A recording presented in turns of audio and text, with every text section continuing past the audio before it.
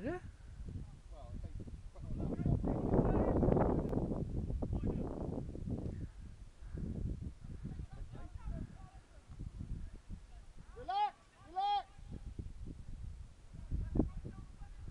I thought we were just going to give in, play 40 minutes each way.